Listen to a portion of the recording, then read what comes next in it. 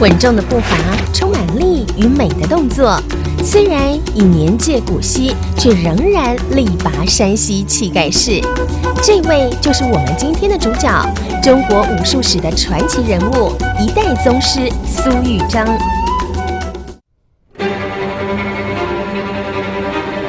出生于一九四零年台南县东山乡。苏玉章师傅在七岁时便追随张德奎大师研习武艺，之后陆续拜师于魏孝堂、李元志、李昆山、刘云桥等武术大师，长达三十几年，孜孜酷酷获得大师真传，习得拳术精湛深奥的武术精髓，并将自身武艺传授后人，发扬光大。我最主要是螳螂拳，因为从小就练螳螂拳。那练的螳螂拳，我是练五种，所有世界上所有的螳螂拳就有五种，这五种我都会。再来就是和刘老师的呢八级劈挂哈，所以在世界上来讲，八级劈挂螳螂是我开路先哦，我们先打出去国外的。反对招式漂亮却虚有其表的样板武术，苏老师是传统武术的捍卫者，致力于保护中国传统武术文化。最主要我教的。是传统的武术，卖不是那种现代改编的跳来跳去的哈。是传统武术，它最主要练的是一种保护身体的。那保护身体的话，就可以保护国家了。这都是比较有战斗性的，就是每一个招式、每次你就真正要打人了啊，是不是在表演？将武术精髓的传承当做一生的使命，教授指导的门徒不止在台湾，更在世界各地开枝散叶。光是现在正在学习的学生就有三万余人，来自二十几个国家。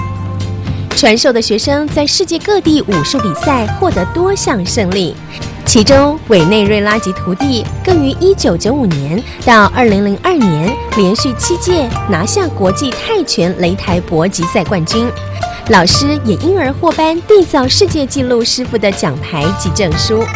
美国德州也将二零零八年四月五日定为苏玉章日。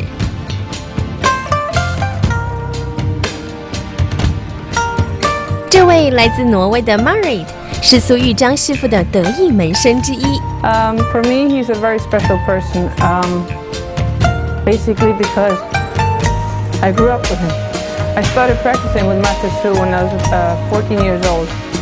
So many years, uh, there's been a lot of changes.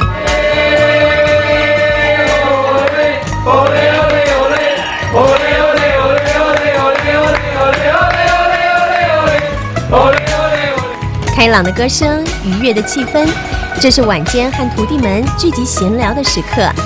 苏玉章师傅将每一位徒弟视为自己儿女，对每一位学生来说，苏玉章师傅是最值得尊敬的严师慈父。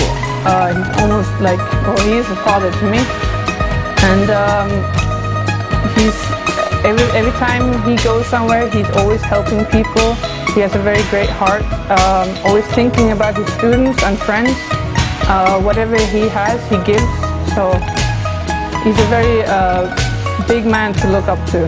奔走世界各地，为发扬传统武术尽心尽力。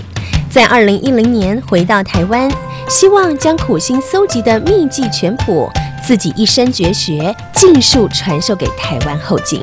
因为年纪大了，七十四岁了啊，所以想把这些功夫啊传到国内来，不想再传到外面。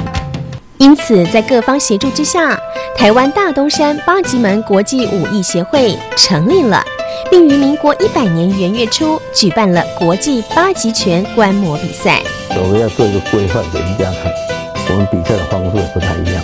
今年办的这种方式能继续下去，继续下去，有这样慢慢的，我们的中国的国术，这种传统的国术啊，倒是有救了。将自己所学带回家乡土地，使其再次扎根萌芽。苏玉章大师以完成薪火相传为使命，为了提升台湾国际武术领导地位，努力不懈。原来规划就是说训练人人才，所以我的计划就是说，发行我们这个团体，又发展到一个学校，好像现在有少林寺，有少林寺的学校，武当山武当山的学校。那我想要通过个学校怎么跟你们训练武术这个爱好，传统中国武术的成员来到台湾来练，这。